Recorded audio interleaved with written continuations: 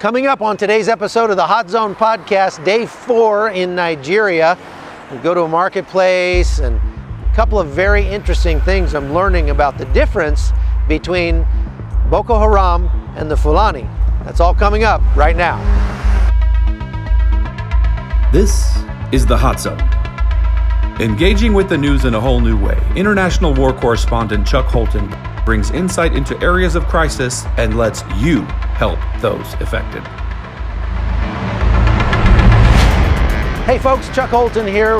Welcome to the Hot Zone podcast. I'm in Nigeria all week this week, and I'm doing three different stories. Like I said, we're talking about the internet scammers, we're talking about the Christian persecution in Nigeria, and we're talking about the, the trouble with Boko Haram. Now, there's some overlap there because uh, the Christians in uh, Nigeria are really getting it from two different sides.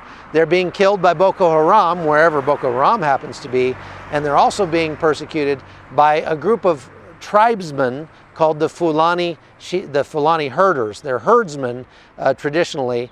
And I interviewed uh, somebody who is from a partially Fulani family today who talked a little bit about the differences between the Fulani and Boko Haram.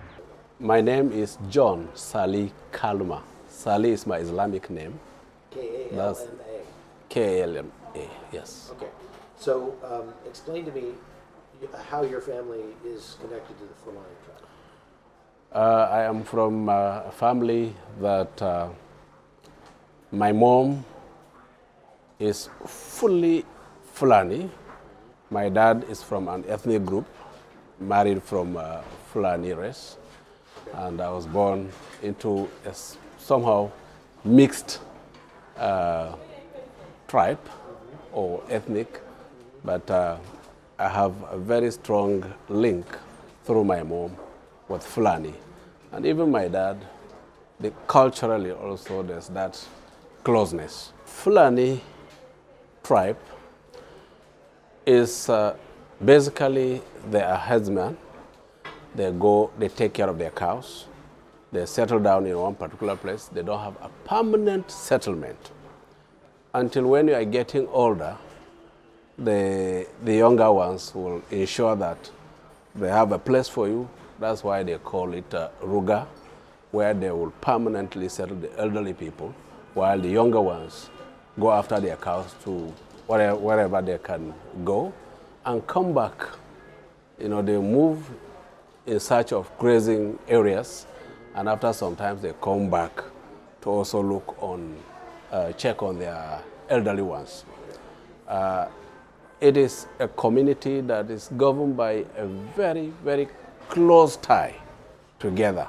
They, they, they believe in themselves, they trust themselves, they usually will not be open to any other uh, persons except themselves because that understanding has been built and enshrined in their culture.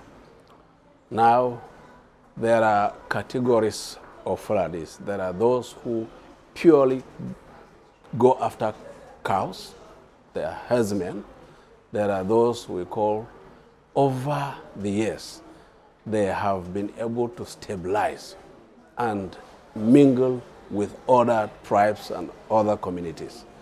They, still, they are still Fulani by birth and by their behavior, but they have a lot of uh, mixture in the behavior, in their way of life. So they, they, they connect with those herdsmen, but they are more of these are the people that uh, have an opportunity to be educated. They went to school, they were able to send their children to school. Now they come back, but they still link up and they ensure that the, the, that culture, Fulani culture, is intact, though they are no longer the same with those who are totally out there with their cows. So these are the ones that have been politically uh, uh, sensitized and uh, they organize themselves and they are taking advantage also of telling those who are herdsmen that we are together. So the herdsmen are the ones that commit all kinds of atrocity while these guys take advantage and uh, uh, enjoy their political affiliation and benefits. Boko Haram and Fulani, they are two separate organizations. And as much as they are two separate uh, culture and uh, tribe. But somehow they have come together to unleash mayhem on the generality of the society.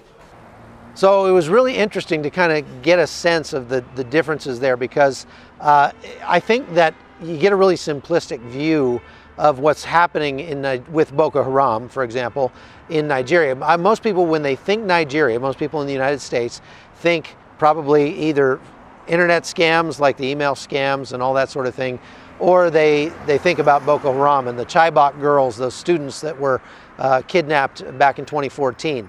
Well, it's a whole lot more complex and that's one of the reasons that i come here. It's one of the reasons why i do this podcast because in, if i've got four minutes in a news piece to explain the differences to you i'm not going to be able to do a very good job. But by doing my own podcast i can take however much time i need to really give you a sense of what's going on and how it pertains to you. Uh, and when it comes to the Christians that are being persecuted in Nigeria, that complexity comes down to the difference between uh, a terror group that's been around for a long, long time called Boko Haram. That's they're they're basically saying Western education is a sin. That's what Boko Haram is all about. They want to institute Sharia law, very much like ISIS did in Syria. They want to carve out a caliphate. They want to carve out some space where they can institute Sharia law and, and have life be the way they want it to be, which is obviously a pretty dismal life for anybody that lives under that. Uh, the other group is a, is a traditional group of, or, or, tribe of herdsmen. These are people who herd cattle uh, around uh, the kind of central belt up into the northeast of Nigeria called the Fulani. They're traditionally kind of uh, nomadic. They don't really settle down much, as we heard there from John. Uh, but that difference kind of ends when it comes to their religious beliefs. Uh, the Fulani uh, tribe is not, as a tribe, Muslim. There are Christian Fulani, but they're majority Muslim. And that form of Islam that they take is Sunni Islam. Same thing with Boko Haram. Boko Haram is a Sunni organization, just like ISIS. And that's why Boko Haram aligns itself with ISIS. And the Fulani tribesmen have some sympathies, let's say, if they don't outright ally themselves with Boko Haram. They have some sympathies there because they're also Sunni Muslims. And that's where I think Americans kind of maybe offend the Nigerian sensibilities a little bit because recently uh, on the Christian Broadcasting Network we did a story about uh, a, a, young woman who was captured, one of the students captured by Boko Haram, taken prisoner, and when all of the rest of them were released, she was kept as a slave. And the reason she was kept as a slave is because she's a Christian. Her name is Leah, uh, Leah Sharibu. Uh, she was kept uh, enslaved there because she refused to renounce Christianity. And the, the government of Nigeria felt like in that report we didn't differentiate between the fact that Boko Haram is a terrorist organization, that indeed the government of, uh, of Nigeria is working very hard, expending a lot of resources to defeat, to fight against. When the Christians in Nigeria are also being persecuted by the Fulani tribesmen, and the, the president of Nigeria is a Fulani tribesman, that doesn't mean that he advocates for this violence, but it, unfortunately, he has not come out against it. And so there's an assumption being made sometimes that the government is on the side of, of Boko Haram and ISIS, and that's not true. They're not on the side of Boko Haram and ISIS, but they have not come out and denounced the violence from the Fulani tribesmen who are also Sunni Muslim. And because of that, the assumption is being made that that they support that violence. And I think what the government of Nigeria needs to do, if they, uh, obviously they don't need to take advice from me, but if they were to take advice from me, I would tell them, all you have to do is make it clear that you denounce violence from anywhere. You denounce violence from Christians, you denounce violence from Muslims, you denounce violence from cattle, anything. If you denounce the violence wholeheartedly across the board, then you avoid being painted with such a broad brush. And that's, I think, the lesson that the Nigerian government needs to learn here. Here's some more of what I saw today. So there have been these ongoing protests from the Shiite minority here in Abuja that have gone on for quite some time over the arrest of their leader. And he was being, he's being held in prison. He was supposed to be released. He hasn't been released. They've been uh, protesting and very angry about all that. And then the, the police or the soldiers come and start shooting. And that happened right near here just a couple days ago. The death toll is now up to seven people. There have been probably a hundred injuries, uh, gunshot wounds, and things like that. And uh, it's really got this city riled up because they're worried about all this violence that's happening. That's not just, uh, you know, it's not racially motivated, obviously. It's just between different sects of uh, Islam. And Boko Haram actually exploded a bomb in front of the shopping center right back behind me back in 2015. Uh, so uh, that, that kind of violence is not what Nigerians want to see, obviously. So they're calling on their government to do something about it. So I'm here with the CBN driver, Jerry, and I was asking him about Nigeria. And this is interesting. Uh, you know, I found Nigeria to be a very polite, uh, peaceful country. Uh, the, the people themselves are very peaceable people and um, super polite, super nice. Uh, so very conservative uh, in the Christian communities, and then of course more, even more conservative probably in the Muslim communities. Uh, but I was just asking Jerry if uh, a prayer is allowed in schools, and what'd you tell me? Yeah, they allow prayers in schools. You can pray, nobody disturbs you. No problem. No problem. And if the headmaster of the school wants to pray, Yeah. nobody says, "Oh, I'm offended that I had to pray." No, all. They, they don't do that, huh? And uh, wh- what about abortion? Is abortion legal in? No. in? Abortion's illegal. No, It's illegal, yeah. Uh huh. How about gay marriage? Is gay marriage allowed? No, it's not allowed. It's not. No. They wanted to uh, put it into law in the year 2014, but the then president, Goodluck Jonathan, refused it. So we are grateful to him for doing that.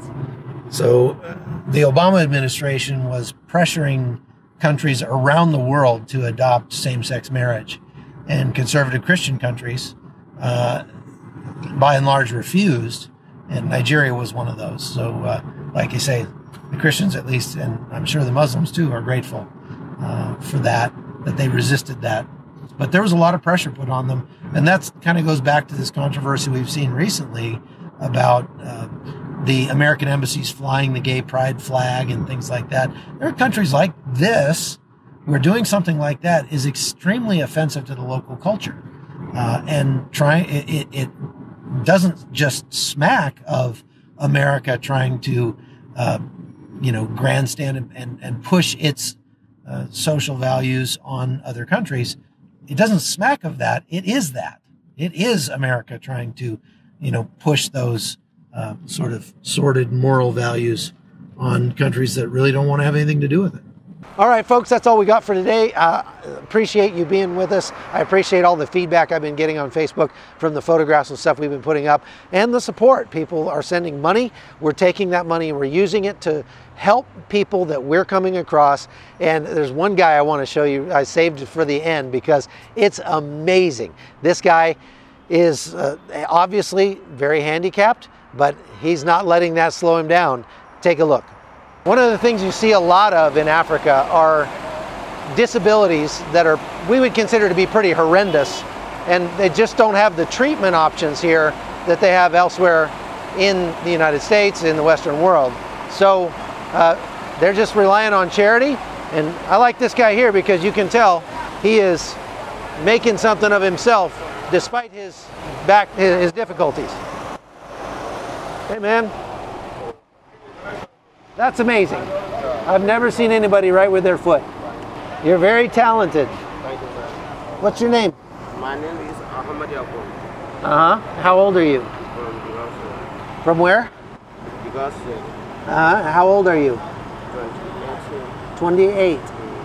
Yeah. And are you studying or what are you writing? I'm. Is this Hausa language? Hausa language. Yeah. And what are you, what are you writing? A letter? or- I'm learning. You're writing what? I'm learning English. You're learning English. Wow, I'm very proud of you. Thank you, sir. That's great. How long have you lived in Abuja? How, how, how long have you lived here? Okay,